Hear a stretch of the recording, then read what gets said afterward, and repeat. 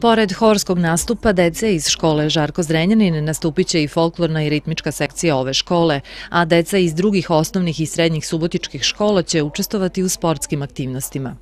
Mnogi ugledni subotički sportisti su se odazvali pozivu ove škole da učestvuju u programu. Đula Mešter, Eleonora Wild, Tomislav Sivić, Radoslav Svirčev, Gabor Sagmajster, Ervin Katona i Elvira Janoši.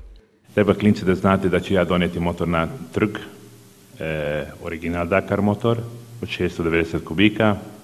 Svako će moći da isproba, čak i možda ćemo i paliti i napravit ćemo jedan krug. Moći ćete da se slikate, moći ćete da date gaz, možete očekivati neke iznenađenje, e, doneće sigurno neke rekvizite sa Dakar Elija što će između vas podeliti. Ovaj put smo se uključili u proslav 55 godina postavlja škole, tako što ćemo na trgu da postavimo tatami i da održimo e, javni čas karatea, da pokušamo da, da animiramo i tu djecu iz tih škola, da pokažemo u stvari šta je to karate, da, da, da, mogu sva djeca se bave karateom svih uzrasta. Žarko Žurka organizovana u povodu 55. godišnjice osnovne i srednje škole Žarko Zrenjanin u Subotici počinje u 16 časova nastupom inkluzivnog hora Muzika srca, a završava se u 18 časova dodalom medalja u odbojci. Učestovaće i mnoge sportske ekipe poznatih subotičkih klubova.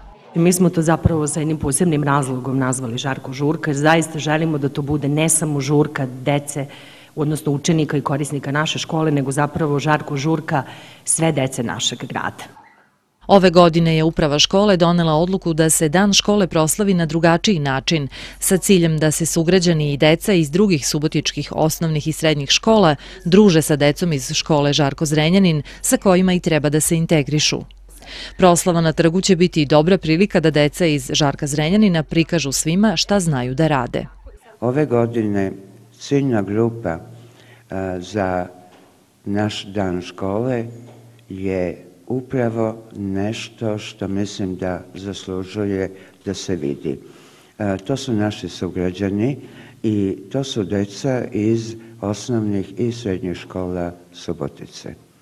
Znači oni koji treba sa našom decom, kao i svih ovih prethodnih godina, da se integrišu, da znaju šta naša deca rade, kako rade, šta sve mogu i naravno da se druže prema svom uzrastu.